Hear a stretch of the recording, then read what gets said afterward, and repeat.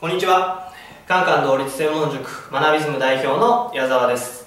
えーこの動画では、えー全解説品質英文法誤法問題1000という参考書を紹介していきたいと思います。えーまずですね、対象がカンカン同率の文系理系志望者すべてです。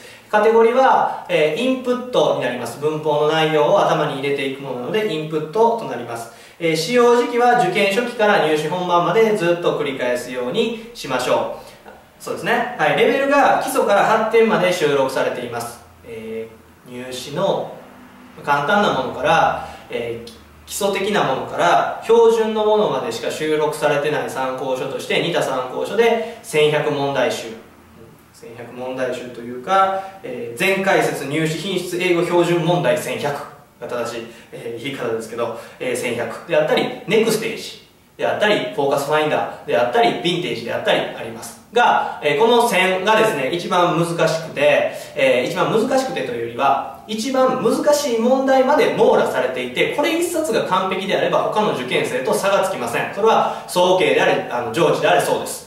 総計上智東大京大でももうここまで来ればもう全然他の受験生とは差がつかないレベルです。はい。で、えーっと、いいところとしては、ね問題冊子と解説冊子が分かれてるんですね。だから反復学習しやすいです。はい。えーまあもちろん、あの、左側に問題、右側に解説、左側に問題、左側に解説、4択のね、英文法の4択の問題の問題、右側に解説、問題解説っていう方がやりやすい子もいれば、えー解説の方の冊子問題の方の冊子が分かれてるのが復習しやすいっていう子もいるのでこれはまあ人それぞれですね。はい、えーあとは解説がかなり詳しいです。解説がかなり詳しい。もう全解説と、いうぐらいですからあの解説がかなり詳しいです。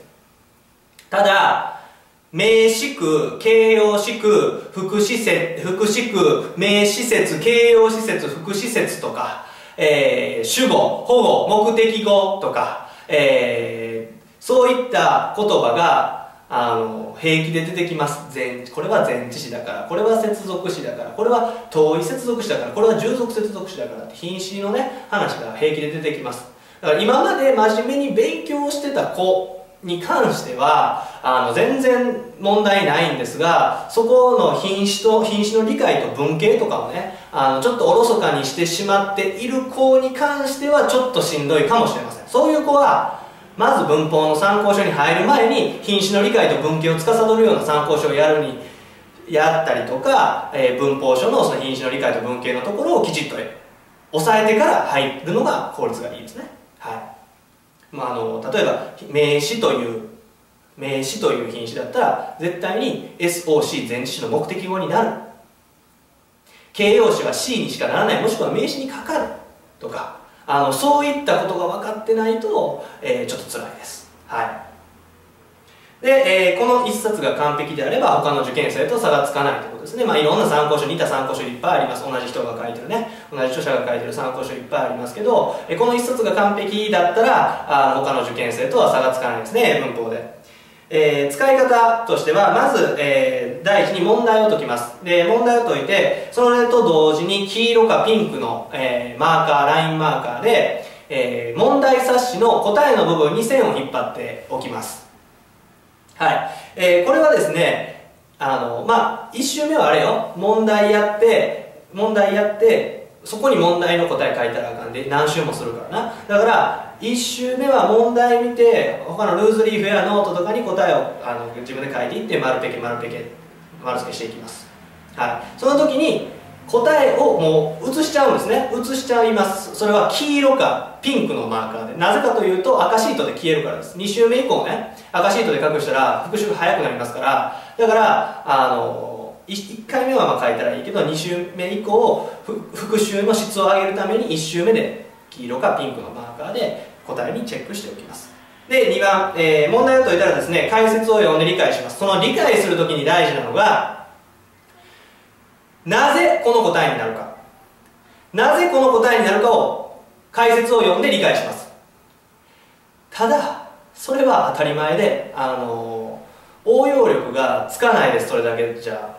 だからこれがこの番号例えば2番が答えになる理由をきちんと理解することと1番3番4番が答えにならない理由を理解するところまで持っていってください。よくね解説の冊子の方では、えー、これとこれとこれが答えにならない理由っていうのを具体的に書かれてない時があるんですね。そういった場合は学校の先生なり塾の先生なり予備校の先生なり聞くようにしてください。ちょっとここはね独学ではきついところだと思います。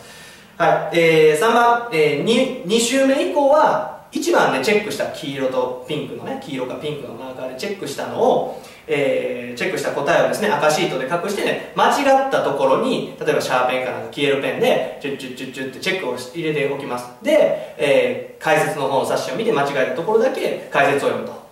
そしたらもう赤シートで隠しちゃえばあの赤シートで隠しちゃって合うてる間違ってる合ってる間違ってるの確認なんてそのその短時間ですごい量できますから1日 ,1 日200300全然平気なんでね。でそれで、えー、やっていってもう間違えたところだけチャッチャッチャッチャッチャッチャッと復習していく。でそれを何週も何週も何週も繰り返します。最低最低5週はやりたい。最低本番までに5週はやりたいところですね。はい。あとは あとはですねあのー、似た参考書としてあの全解説、えー、入試品質英語標準問題1100であったり全解説、えー、品質英文法誤報問題1000今回のやつですね。1000であったりネクステージであったりフォーカスファインダーであったり似た参考書ありますがたくさん手を出さなくていいですよ。どれか1冊決めてください。どれか1冊。で、えー一番まあおすすめはこの線ですね。なぜかというとあの簡単な問題から難しい問題まで全てが網羅されてるからです。でこの1冊が完璧だったら他の受験生とは差がつかないです。からですね。はい。ということです。それでは、えー、この動画はここまでにしておきましょう。ありがとうございました。登録登録登録登録